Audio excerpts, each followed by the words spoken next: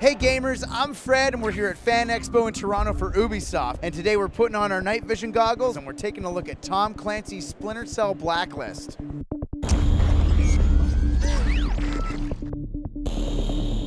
Sam Fisher is looking better than ever, probably doing loads of CrossFit, but he's back behind enemy lines in the latest edition of the Tom Clancy Splinter Cell franchise.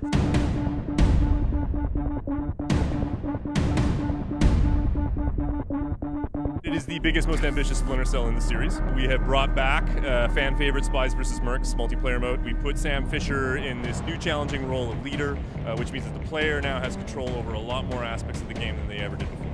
So Sam Fisher is like Mr. Spy. Like, are we gonna see new skills, new weapons, things like that?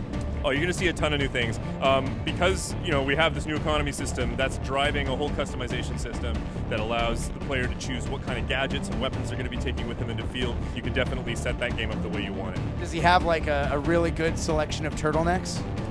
I, I, is this some kind of a, a, thinly veiled Archer reference? Is that possibly it? Yeah. Possibly Okay. is dark and darker black.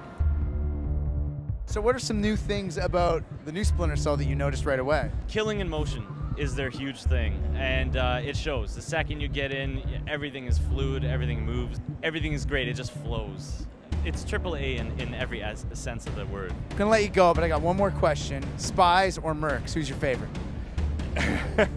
well, I, you know, obviously it's spies. It's very, very satisfying to, to shoot someone in the face from like 20 feet away when they're in the, in the process of trying to hack something.